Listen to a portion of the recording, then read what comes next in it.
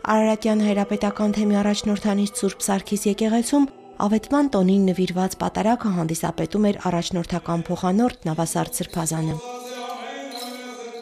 Այսօրը Սուրբ Հարության տոնին նախորդող մեծ պահքի շրջանի այն բացառիկ օրերից է, երբ պատարակն ընթանում է բաց խորանով եւ հոգեվորականները տոնական հանդերձներով են։ Մեր եկեղեցու ամենասիրելի տոներից է Աստվածածնի ավետման տոնը, եւ հայոց բոլոր եկեղեցիները լի են հատկապես հղի կանանցով, որոնք անթակույտ ջանասիրությամբ են աղոթում եւ խնդրում Աստվածածնի բարեխոսությունը հղիության բարեհաջող ընթացքի համար։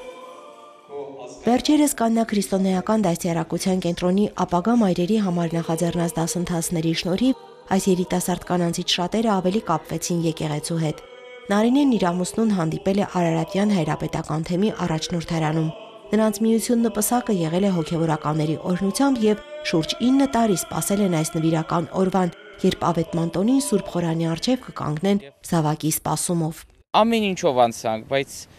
այս տարի եղավ հրաշքը եղավ հրաշքը եւ մենք շատ ուրախ ենք։ Մեծ բերկրանք ենք ապրում ու գիտեմ, ուղղակի խոնարհվում ենք Աստծո առաջ եք ամենն արվանանալու գղջիկ տոնը մի օր մեր վրա մեր հոգու մեջ գալու համար Երբ մարդուն խնդրում ես Աստվածային հրաշքից խոսել անմիջապես անդրադառնում է իր զավակների ծննդյան հրաշքին, ասում է Շուշանը։ Նա սպասում է երկրորդ զավակին եւ եկեղեցում ներկա կանանցից շատերի նման շնորհակալություն է հայտնում Աստծուն, որ եւս մեկ անգամ իրեն ապարգևեց մայրանալու բերկրանքը։ Ամեն արատավոր բան խոնարհության եւ հավատի բացակայությունից է սերում, ասում է քահանան։ Աստվածածինն անգերազանցելի օրինակը խոնարհության եւ հավատի։ Այս դոնը շապազանց կարևոր է մեզի համար։ Ցույց կտա, որ Աստված մեզ կսիրե հատկապես ամենա խոնար